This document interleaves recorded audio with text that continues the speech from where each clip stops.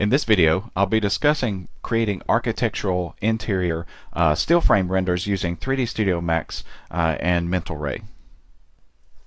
We'll walk through setting up the direct and indirect illumination uh, on this model using uh, a white material to customize and configure uh, the the color of the light and the values of the lighting that we're we're looking for before switching over uh, and applying the materials and render the the completed version. Now since I will be working with indirect illumination, photometric lights, IES profiles, uh, things like that, the scale of this scene is critical. Um, it's very important when you're working with indirect illumination and photometric lights and IES profiles to make sure that your scene is scaled to a realistic uh, real world value. For example, if I drag out a tape uh, measure tape measure here in the uh, scene just to go to the ceiling, uh, you can see that I'm about 129 inches uh, from the floor to the ceiling and from the uh, longest width across the room about 263 inches uh, wide from interior wall to interior wall at the widest point. Now if this wasn't scaled properly um, say this room was uh, you know a thousand foot wide and 500 feet tall uh, and I tried to light it with a 60 watt light bulb that's really not going to give you the results that you would uh, if you wanted to if you used a, a uh, more real world scaled model. So when creating the model uh, to make sure that I'm within scale I just went through and set up my units. Um, I use inches or feet uh, and then make sure that the system unit is set accordingly. So I'm using inches for the system unit and I'm also displaying uh, inches. If you're using metric you would use metric here. Um, whatever uh, is comfortable for you to use just make sure that it's a, a realistically scaled model okay so let me just switch back to my camera view here and as I said, I will be using Mental Ray uh, for this particular scene, so I'm just going to come down and switch uh, the assigned renderer here. I'm going to switch from the scanline renderer over to Mental Ray. And we will be using indirect illumination in this scene. Now, there's really two main options for indirect illumination. If you switch over to the indirect illumination tab, you'll see you have Final Gather, which is enabled by default uh, in 3ds Max 2009 and 2010 and you also have global illumination. Uh, global illumination is a photon based, whereas uh, Final Gather is more of a distance based, uh, maybe like an irradiance uh, type solution. You could use these separately or you could use them together. Now in this particular video, uh, just to stay on topic, I'm not going to go in in-depth details of what all of these settings do. I have a separate video on that uh, for indirect illumination settings. Uh, so you may want to check that out prior to starting this uh, because I'm just going to quickly go through and configure the settings here uh, for this particular scene. Of course I'll explain why I'm doing that but again some of the settings here I won't use uh, and so I won't explain in detail in this particular video. Before jumping in and just taking off with the lighting here. Uh, one thing that I have found useful over the years uh, is to have a lot of reference images. Uh, these can come from Google, your own pictures that you take, etc. Uh, but I like to go through and whatever I'm working on have some reference images to go by. So I've compiled some photos here of interior scenes I'd like to look at. Uh, and these are, I've compiled these particular photos for various reasons. Uh, like in this example, I wanted to show how uh, with the camera exposure in this particular photo, you get this overbright uh, window area, but you also have this very soft uh, illumination coming into the to the room because there's no direct sunlight coming in. So just that skylight uh, is really giving a, can produce such a, a very soft uh, illumination effect to the room.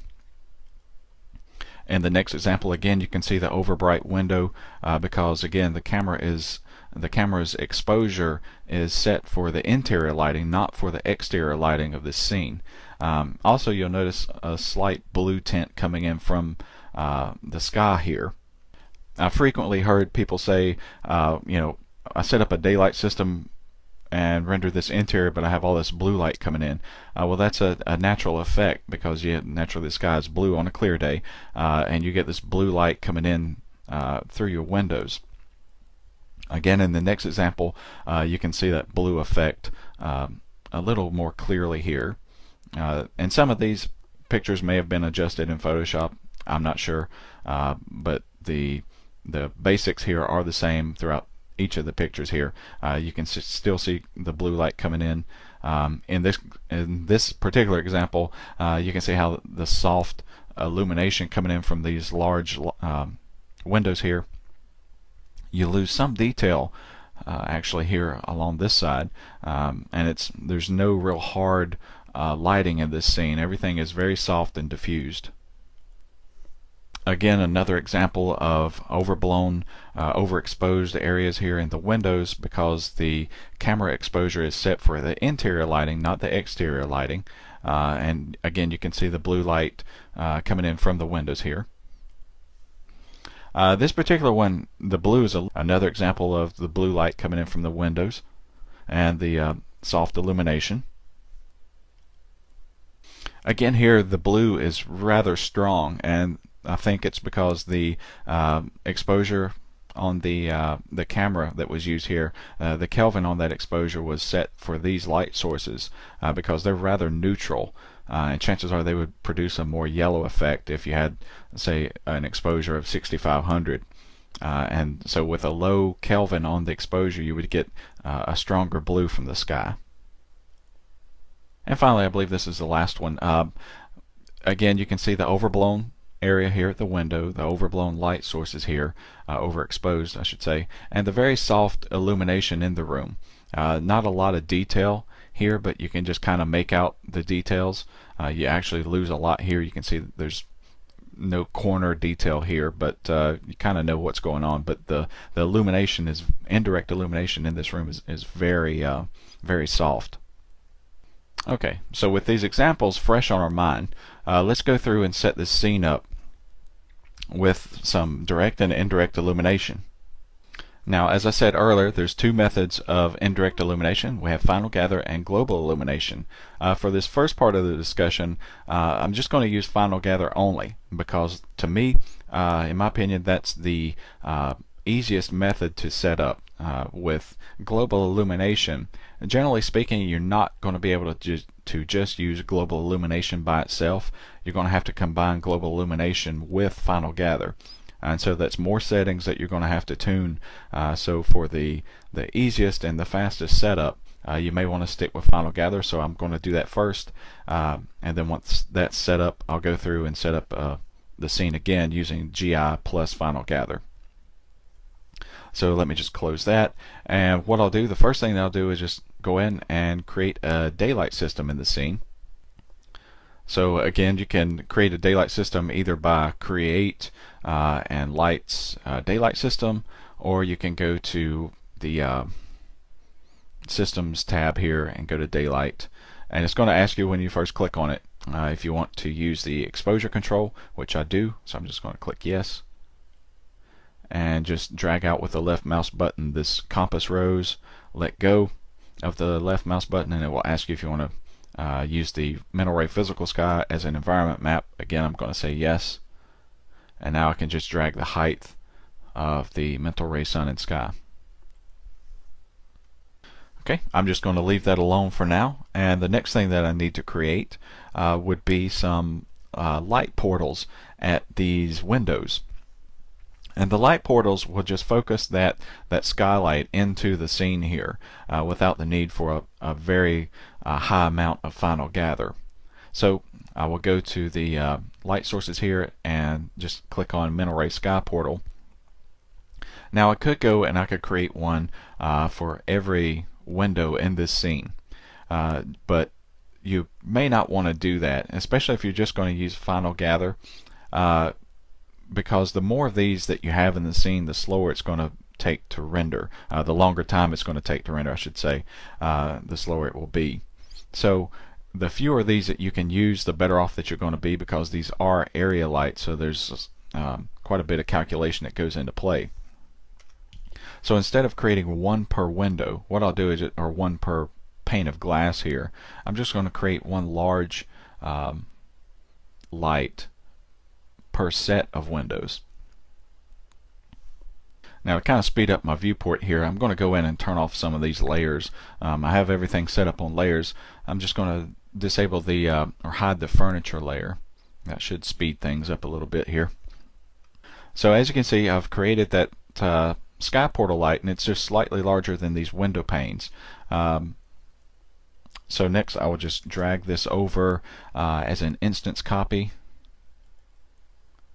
and once again as an instance copy.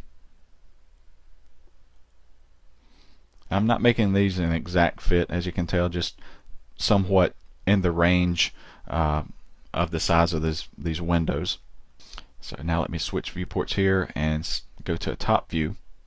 And if you notice uh, there's an arrow pointing which the direct showing you the direction of these light sources. So right now they're set up to push light towards the windows from inside the room, which obviously is incorrect. So I'm just going to switch over to uh, my selection box here, my selection filter, uh, and set it for lights and just grab all three of these. I'm just going to move them outside of the room, close to the windows like so. And since these are instances, uh, I'm going to change uh, this direction here. If I hit this flip light flux direction, now they're pointing into the room, and since it's instance copies, uh, all three of them change at the same time. So I have two more windows here on the back side of this model, so I'm just going to grab these two uh, light sources and drag them down as instance copies as well. Now obviously these need to be uh, reversed as well because when I move them into place you can see that they're pointing away from the building. But since it's an instance copy if I flip that then the these others are going to flip the wrong direction too. So what I'll do is just mirror these. Whoops. I'll just mirror these. Go to tools and mirror.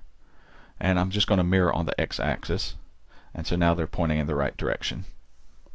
Even though they're still instance copies. So if I change the direction on these uh, they're all still working as you'd expect now. Now on these portal lights, um, the default value is to use the existing skylight for its uh, brightness and color. Uh, so I'm just going to leave that as is since I have this skylight in the scene, which is the mental ray sky. So these portal lights are going to pick up their intensity and color from the mental ray sky. I will also just leave the shadow samples and all the settings at the default values at this point. Um, if I just switch back to a, uh, let's go to the camera view here. Really, that's that's it. That's it for the configuration of the uh, natural light in the scene. The only thing that I need to add now would be the um, the man-made lights, which would be the photometric lights in the scene. But before I do that, I may want to just go ahead and configure uh, the indirect illumination and the lighting um, for this scene run a quick test to see what I have. Now when I make when I configure the lighting in my scenes and the indirect illumination I generally prefer to set up the lighting and then use a kind of a neutral colored material on all the objects in the scene just to dial in the look of the lighting that I'm after. So I already have materials applied to uh, all of the objects in this scene. So to quickly uh, apply a material here, I'm going to use the override, uh, material override of Mental Ray, which is in the processing tab, uh, and you see this option for material override. What that's going to do is replace all the materials in the scene at render time uh, with one material. Now it's not physically going to go in and change the materials on my objects, it's just a render time um, occurrence. So I'm going to enable that, open up my material editor, and I'm just going to add you have to select what type of material you want to override with. So I'm going to put Arch and Design material and just drag this over to the material editor as an instance copy. And now I'll go in and change the settings here. I don't want uh, a lot of um, reflections going on here because I'm just setting up the lighting. So what I'm going to do is lower the reflectivity and enable this highlights in FG only mode so that I'm not having to calculate a bunch of ray traced uh, reflections. Uh, it'll render faster and I want uh, kind of a diffused uh, glossiness to this material. You can see as I decrease that um, get more of a diffused gloss. Something like so. And then for the color I'll just use a uh, let's just say 0.85 kind of a light color. Oops. 0.85 kind of a light colored uh, neutral grayish white okay so now what will happen when I render this is that every object in this scene uh, will have this material applied to it at render time uh, the problem with that is if I render right now I, you notice that I have glass panes in here well those glass panes have a an Arch and Design glass material on it. Well, if they get this solid object, naturally I'm not going to get any light in the scene. So what I need to do is hide the glass. So I'll go into my Layers Manager. And here I have the glass panes actually on a, a separate layer that I can easily just uh, hide those. Okay, next I need to check the render size here. So I'm going to go to the Common tab. Uh, it's set up for 800 by 533. I don't need that large of a render for testing phases so I'm just going to change that to 400 maybe 420 just so it'll be a little bit larger to see uh, in the video here okay so I'll just close this now and let's just give this a render and see what we have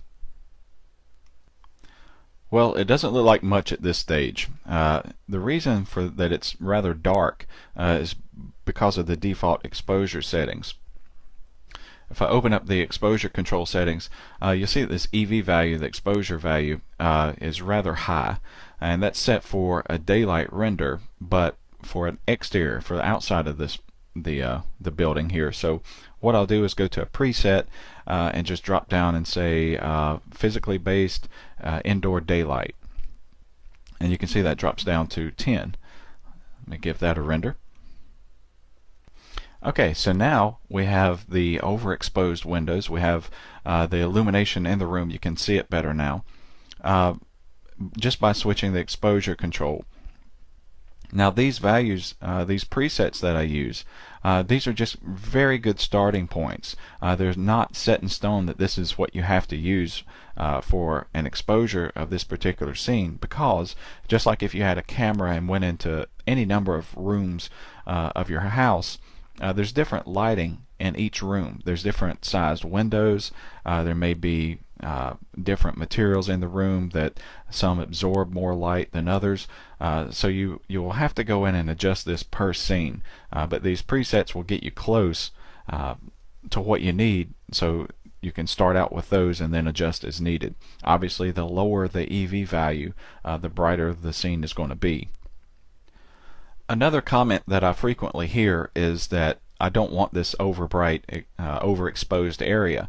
Uh, it may not be that you don't want it, perhaps your client probably doesn't want it.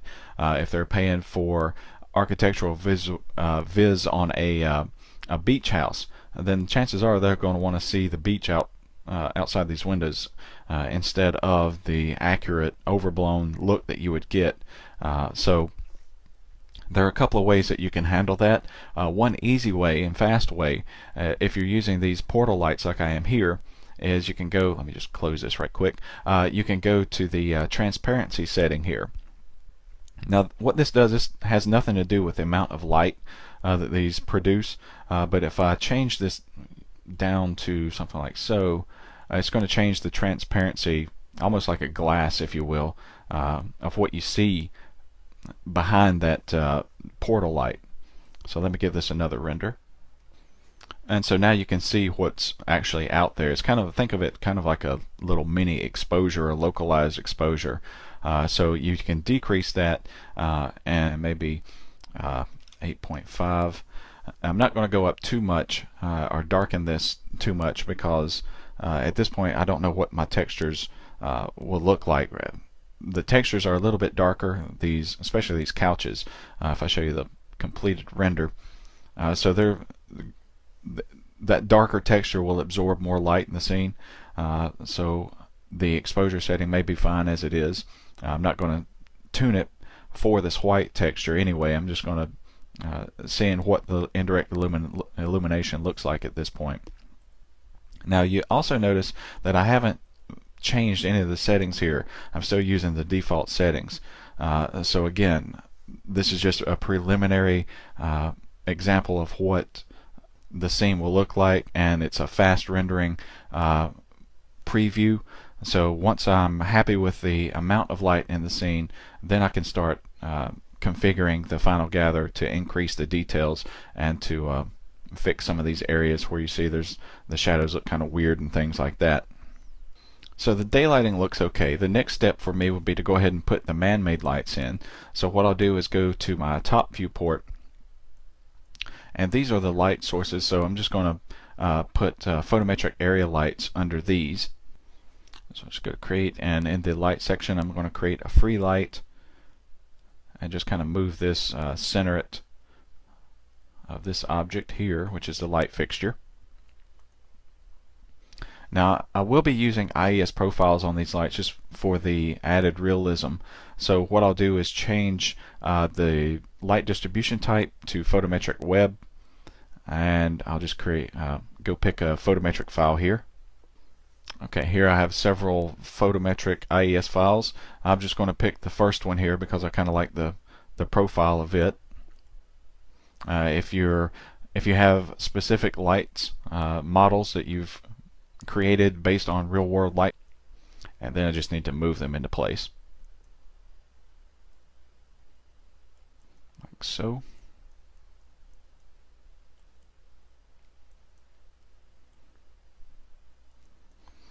and again uh, more copies of this so I'll just drag a selection around these three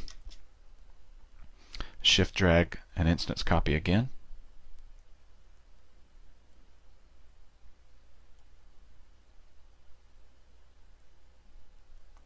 like so. And I have two more light fixtures here uh, behind this television.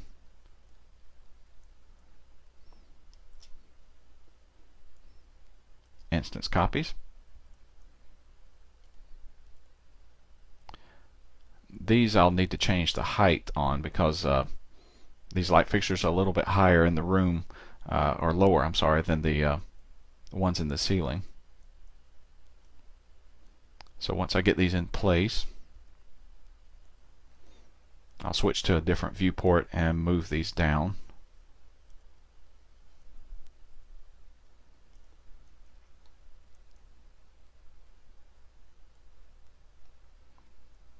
Just like so. Okay, so let me switch back to my camera view here and we may want to give this a preview render now.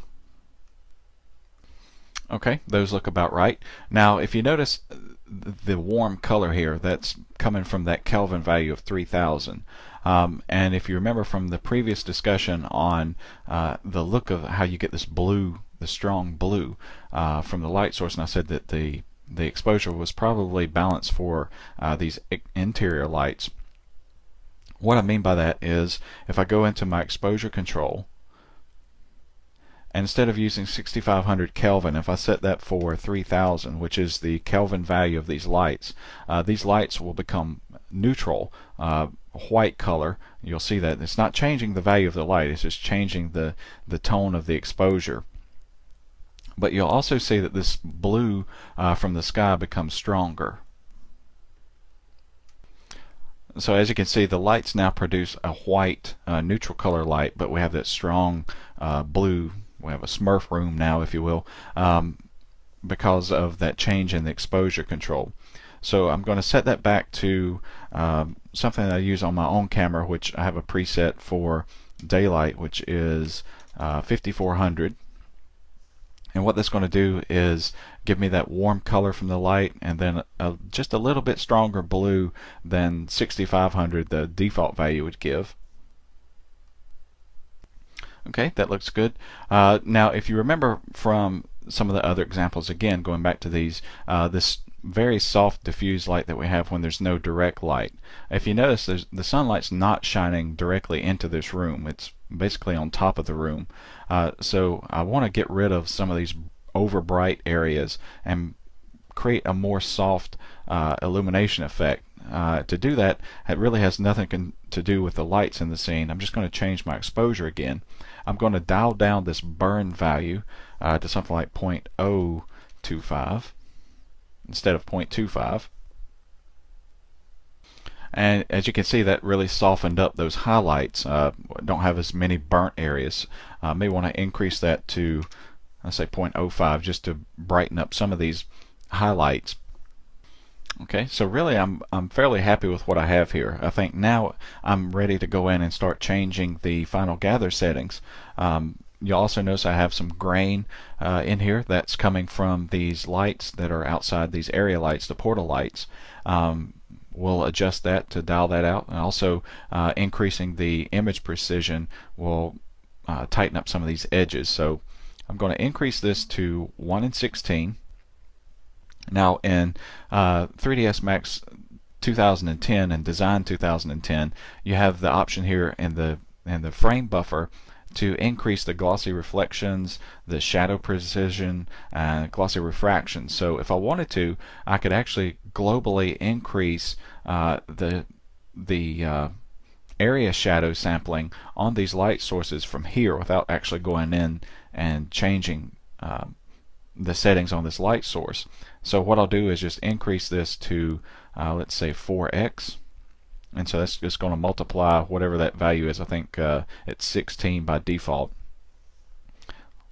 and that will reduce some of the grain here. It's also going to increase the render time because it's more calculations that it has to do.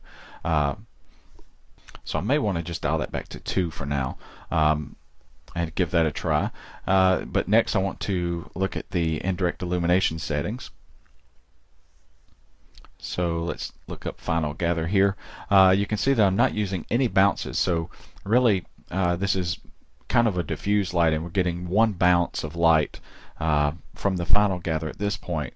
Uh, for a good interior you're going to want to use I think it's between 4 and 6 and in fact if you click on this diffuse bounces if you just drag the mouse over uh, you'll get this tooltip and it says a value of 4 to 7 is required for accurate indoor uh, scene so I'm just going to set this to 5 and also if you notice this trace depth um, that limits the number of bounces if you will uh, for final gather. The reflection, the default is 2, so it's only going to do 2 reflections, so I'm going to increase that to 5. And for the uh, the setting here, I'm going to go in and change this to, let's use medium. And let's just uh, increase the render size here slightly so that we can get a better view of what's going on and I'll give this a render now. And in the completed render, as you can see, uh, it looks okay. I do have some areas, you can see kind of a splotchy effect here uh, on the backs of these pillows and on the backs of this uh, sofa over here. Uh, there are just a couple of areas that uh, could use some higher FG settings. Final photos that I showed you, uh, you actually lost some detail in areas, especially at the ceiling. So that softness is actually good for architectural interiors. If you want more detail, then an easy way to get that is to use the uh, ambient occlusion feature on the materials. And what I'll do is just come down, and this is the that uh, global material that I'm using in this material override. I'll just scroll down to the uh, special effects rollout and enable ambient occlusion. Uh, again, I'm just going to leave the settings at default because I'm just trying to show you uh, what you can get with just the, using minimal changes to your settings here. Uh, I'll just leave that as it is. And let me load this in the RAM player, this existing render. Move this off to the side. Now what I did while ago was I actually calculated that final gather map. and I saved it to a uh, file here. And so now when I go back and render I'm just going to have it read from the points rather than calculate that final gather pass again. Because anytime that you have to calculate the final gather um, and especially on a medium high or or even higher settings uh, it can take a while to calculate. This one took about 10 minutes uh, to calculate this pass with using the number of uh, bounces that we have, which is five. Uh, so it's quite a bit of calculations going on. So to go in, let me just show you real quickly what I did.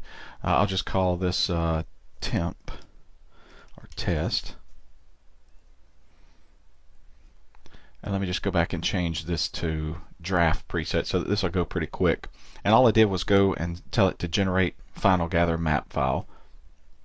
And it'll come through and it'll start calculating um, in a second and then it will start uh, calculating that indirect illumination And while it's doing that, it's actually writing to this file.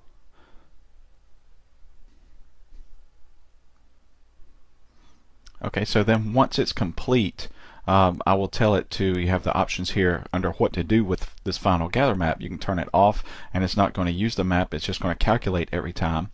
I can tell it to incrementally add final gather points to this existing map. So if I wanted to change some of the settings, um, it would add those changes to this map that I just calculated. Or if I tell it to read the final gather points only, then it's not going to calculate anything and it's just going to read the data that's already saved in this file. So when I go to render, now it just goes directly to rendering instead of having to calculate that final gather pass. Let me just cancel this.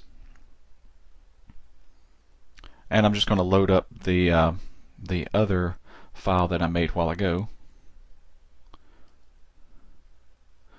which is the exact same as this file. And so what I'll do is that now that we have that ambient occlusion effect added to this shader, I'll go ahead and render this. Let me set this back to medium just so I don't get confused later. It's not going to calculate anything. It's just reading from a file. Uh, but I just, so that I don't make a mistake later on, I'm going to set that back to medium. And go ahead and render this. Okay, that renders complete. So what I'll do is add this into the other channel of the RAM player and we can do some comparisons here. Uh, you can see that the left side has the ambient occlusion effect. And as I drag this around, you can see that that's adding the details uh, in the scene, especially like in the corners uh, and these areas uh, along here where it's hard for Final Gather to add a lot of detail in uh, without using very high settings. So that's kind of a way that you can uh, add some details and use lower Final Gather settings uh, and still have those shadow details that you want to bring out uh, a lot of the, the curvatures of the models that you create while still maintaining fairly quick render times uh, because you get to use that medium or low quality uh, Final Gather solutions. Now the only downside to that is as you can see it creates kind of a uniform shadow appearance. Uh, but your clients may not, you'll probably notice that, but your clients may not. It just depends on how savvy they are uh, with um, final with uh, indirect illumination and things like that, how it's supposed to look. And for example, in the scene, the, the final completed scene here, you can tell that I used ambient occlusion by seeing this uh, uniform shadow here along this edge where the two walls meet. So if you if you're looking real hard and you're studying this, you'll notice uh, you'll see these ambient occlusion uh, items like that. They'll just scream at you. But uh, an, if this was an animated scene, or if I weren't, if I wasn't uh, terribly familiar with things like this, uh, such as maybe some of your clients that uh, hire you to create architectural interior renderings. Uh, you probably wouldn't pay much attention to that again especially if it's animated and you're walking around the scene this isn't really going to stick out like it does in a still frame Okay, now one trick, let me just close this. One trick that you can do here is even though I have this final gather solution calculated for uh, this white room, if you will, I could actually just go in and turn that uh, this material override option off and render it with my textures. Uh, it would keep some of the indirect illumination data uh, and just apply my textures textures to this scene. Perhaps that a reason that you'd want to do that is if you have a client that does not want any uh, strong color bleed in a scene. Um, if naturally the indirect illumination will be uh, incorrect for this scene. Let me just go ahead and render this. So as you can see, it completed the render um, and it's applied the materials now that are in the scene. But of course that indirect illumination solution is incorrect because it's all based on that white color. And it's hard to control the color of your textures as you can see from the the comparison render here, the original, uh, that the the sofa texture is kind of a, a, brown, whereas here you get that strong bluish uh, hue added to it and it's because it's it's again is based on that white material that we used or that kind of white material that we used uh, for the indirect illumination calculation. Why would you want to do something like this? Uh, if you're in a pinch for time uh, you might be able to get by with using this. Again it just depends on your client. Uh, sometimes it can take a little bit longer to calculate the final gather uh, when you use all of these glossy materials in the scene than that uh, that white material that I used previously for the final gather calculation. So it can save a little bit of time, but of course it's uh, not an accurate uh, result for the materials that I used in this scene. Uh, but it, it again, it may be able to get you out of a, a bind if you're in a pinch for time. Uh, it just depends on your client. Okay, so let's go ahead and set this up for the final render now. Uh, what I want to do first is go in and delete uh, this map that we're using here, this final gather map. I'm just going to uh, click delete. And let's go in and change the sun position here because I kind of want the sun coming in this front window. So what I'm going to do is just put this in manual position or manual mode so I can just drag it and move it where I want. And let me just go into my camera viewport here and I'm going to turn on uh, hardware shading and enable shadows and instead of using the default lights I want to use the scene lights. And what that's going to do is kind of show me uh, where the lights are and what kind of position the sun is going to play in this role. So what I want to do is just move this over just a little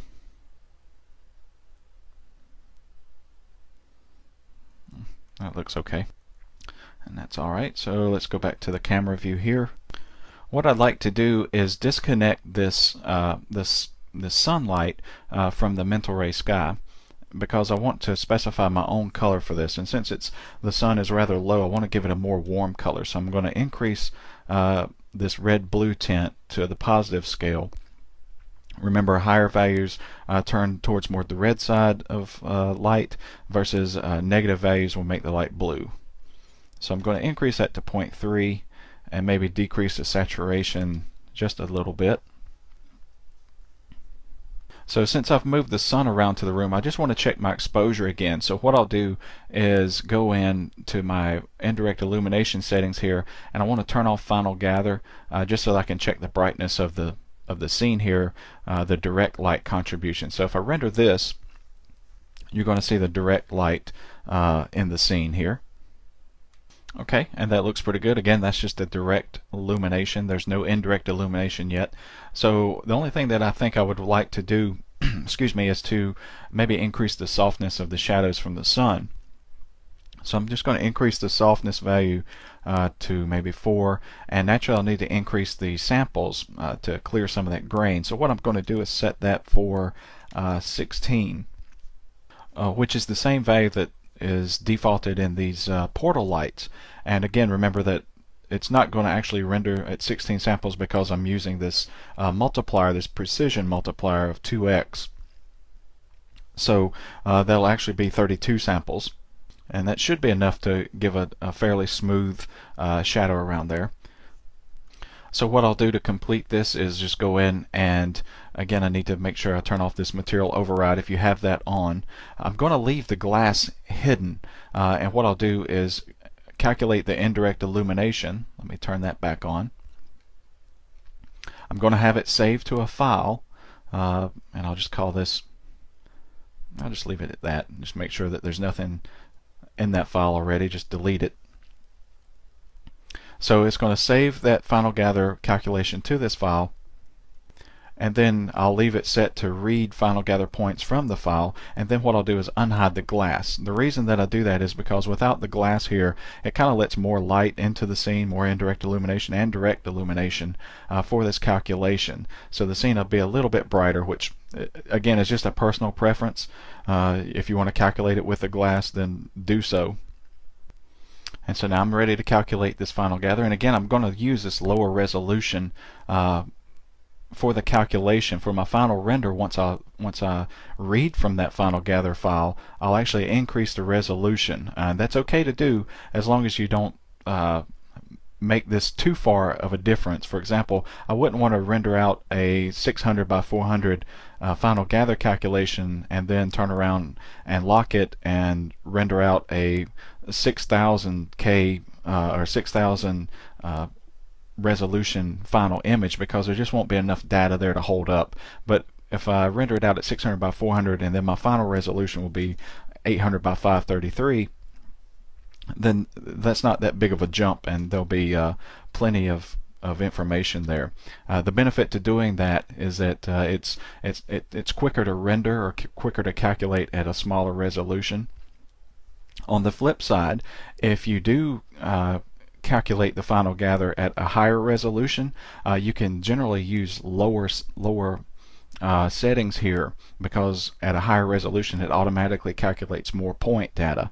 So if you're going to render or calculate your final gather at a higher resolution, use a lower uh, final gather settings. If you're calculating it at a lower resolution, you may need to use a higher uh, final gather setting. But for this particular scene, I'm just going to go right in the middle and use the medium preset. And I'll just go ahead and let this uh, generate the final gather map. Okay, now that it's completed the final gather calculation, I just want to make sure that I'm reading from the final gather maps instead of adding uh, to the existing one. So it's only going to read from this instead of calculating this time. Uh, I want to go in and increase my image resolution, my output, and I want to go and unhide uh, the uh, the glass layer. And now I'm render, uh, ready to render this final scene. And there's the completed scene. Uh, so that's a quick method of setting up Final Gather for rendering out uh, architectural interiors. Uh, up next I want to look at uh, configuring the scene for use with global illumination and Final Gather. So the method that I just showed where I went and set up the scene using uh, Final Gather only, that's probably the fastest uh, way to set up a scene like this. Uh, but it's not the fastest indirect illumination calculation. Uh, generally speaking, if you use uh, global illumination with Final Gather, uh, it tends to be a faster uh, indirect illumination calculation than just Final Gather by itself. So it's kind of a drawback um, uh, in speed to use Final Gather. Uh, you gain speed by not spending as much time setting up the indirect illumination settings, uh, but you lose a little bit of speed uh, when it comes to the calculation time. If you use Final Gather with uh, global illumination, then you have a little more setup time because you just basically have more options to configure uh, with the two options here with global illumination and and final gather but it generally calculates a little bit faster. Uh, the render times are probably about the same. Uh, global illumination plus final gather may be a little bit faster just because uh, the calculation time seems to be a little bit quicker. Uh, but uh, overall, the times are going to be probably similar the render times, actual render times. So it's kind of a wash. Uh, it just really depends on how if you would just want to set up one setting for indirect illumination, then just use Final Gather.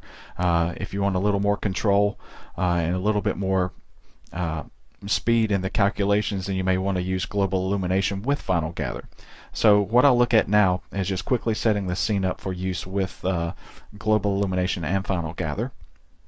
So the very first thing that I want to do is I know that these lights are going to be casting photons. They're going to cast uh, global illumination photons. So anytime that you're using photons with uh, this mental ray sun, the first thing that you want to do is enable this photon target and configure that target so that it uh, only encapsulates the areas that uh, you need photons.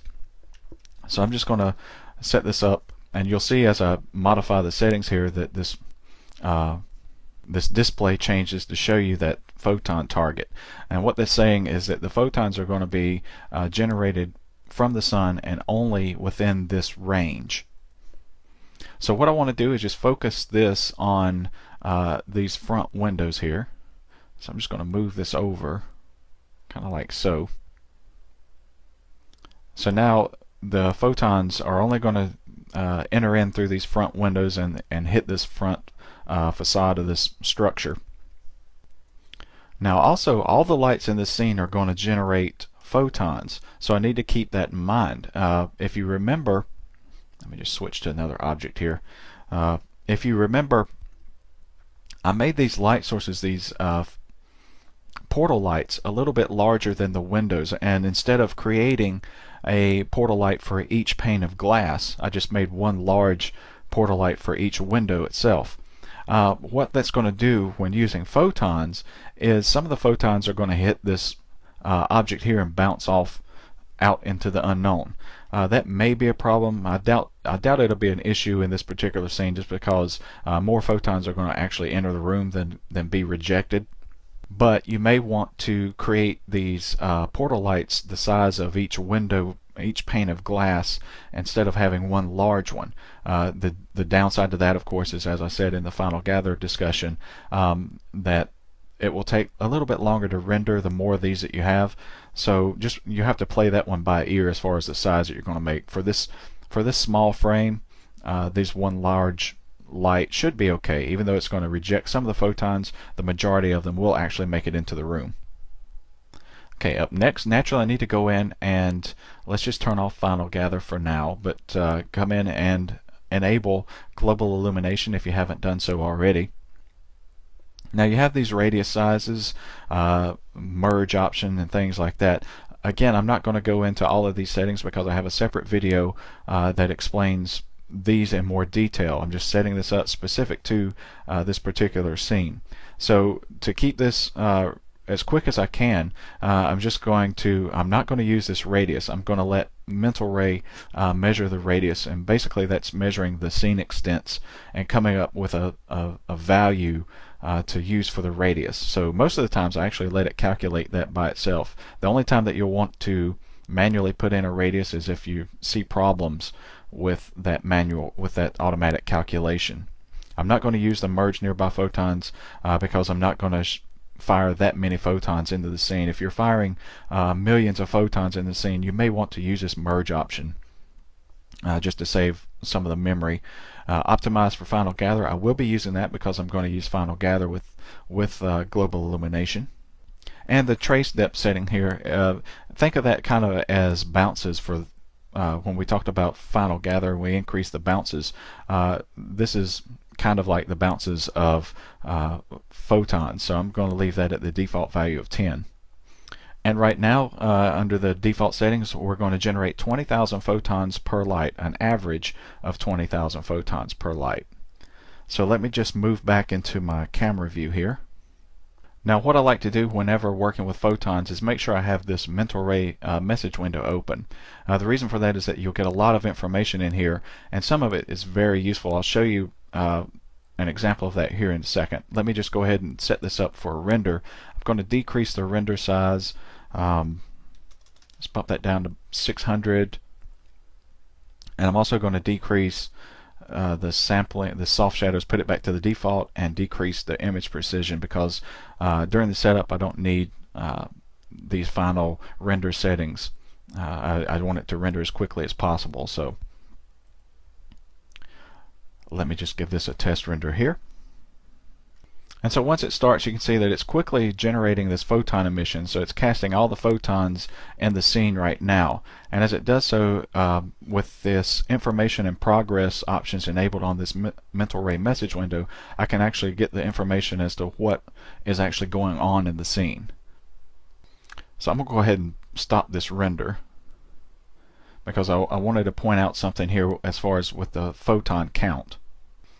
If you scroll up uh, to the top here, you can see uh, the number of photons uh, that the lights are casting. And remember we have it set up for the default value of 20,000 photons uh, per light source here, an average of uh, 20,000 per light. Yet you see the mental ray sun here is generating um, 100,000 photons. The sky portals generate 35,000 photons and my photometric lights are only generating 14 photons.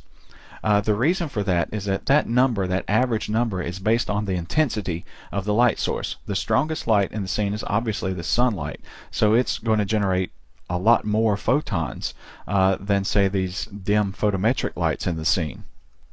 So I kind of, it's just a personal preference, I kind of like to even these out to have uh, a little more photons uh, especially for these photometric lights. Um, I'm going to leave the sky portals alone. Uh, the mental ray sun, I'll probably leave that alone, but the photometric lights, I'm going to actually increase the photon contribution. And to do that, I'm just going to select the light and scroll all the way down to the bottom here, and you have this mental ray indirect illumination rollout. Uh, I could go ahead and put manual settings and just specify the number of photons, but when I do that, I also have to specify the color, uh, the energy, and things like that. And I, I don't want to get into that. I want it to be automatic. Uh, so I'm going to leave it in using these global multipliers in automatic mode. However, for GI photons, I'm going to increase that so that I just get more photons, but it maintains the color uh, and energy uh, of those photons automatically. So I'm just going to increase that to, let's say, 250. Uh, it's not saying 250 uh, photons, that's a multiplier. It's a multiplier times the uh, average photon setting here because I'm using this global number here. So it's 250 times, basically, we know it's going to generate 14, so it's 250 times 14. So now if I go in and clear this out and render again, let me just pause this while it renders. And if I go back to the top here, you can see that now instead of 14 uh, photons per photometric light, I'm generating 3,619. So I'll just increase that again. I'm just going to leave it at 500. That should be plenty. Um, clear and close this. And what I want to do is use that uh, material override again that we used in the final gather, just so that I'm not waiting for this to render with all the glossy uh, materials that I have in this scene. And I'll just give this a render so that I can see what my global illumination uh, calculation looks like. And that looks pretty good the way it is. Um, actually, I don't need to change anything. So I'm just using the default settings here. Um, and I'm getting pretty good results because I have quite a few photons in this scene. Uh, and so now all I need to do is enable this optimize for final gather and come up to my final gather and enable that. And one key thing to remember is when you use Final Gather with global illumination, this diffuse bounces is ignored. So even though it's set to 5, it's only uh, that value is ignored. And It tells you this in the uh, this little tooltip when you scroll up, when you just hover over this option. So another good thing is I don't need to use as high of a setting. Um, I actually could either use draft probably or even low. I'm just going to set it on low because it's just going to smooth out what this is going to do. Uh, Final Gather is basically going to smooth out this solution, this GI solution. So I'm just going to set that on low and I'm actually I'm not going to read from a, a map here because that map's already calculated uh, based on the Final Gather alone pass while ago. So I'm just going to turn that off and just render this as it is and it'll go through and it'll do the global illumination, the photon calculation, and then the GI, uh, the final gather calculation, uh, and then do the final render. And there's the resulting render. Uh, so basically it's up to you to, to, determine which method you want to use for scenes like this. Um, if you use global illumination with Final Gather, just make sure that you use the targeting option on that mental ray sun and that the photons are targeted exactly where you need it and that you have a nice smooth uh, global illumination solution before enabling Final Gather. Uh, if you're just using Final Gather, uh, then you can set scenes up quicker probably. Um, but the calculation time may be a little bit longer. So again, it's up to you to decide which method works best for you.